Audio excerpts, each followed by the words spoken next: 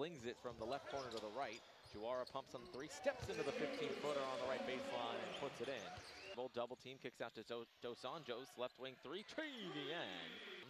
Rebound tapped out by Alipiev. Have another Lions push ahead to Eli Scott.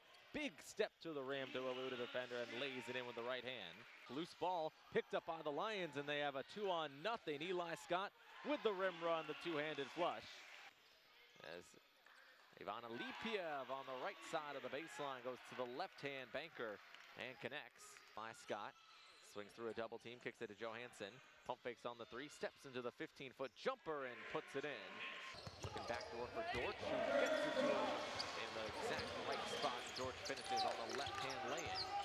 Zips it underneath for Dos Anjos. Left-hander at the rim is good. Defense now puts the dribble down on the floor, kicks it out to Jawara. Feeds Dos Anjos open at the free throw line. Faces, fires, and connects. Scott left corner for Alipiev. Dribble down the left baseline, feeds inside for Bell. Team bounces to Eli Scott over to Dortch, who zips it up court for Alipiev. Finds Bell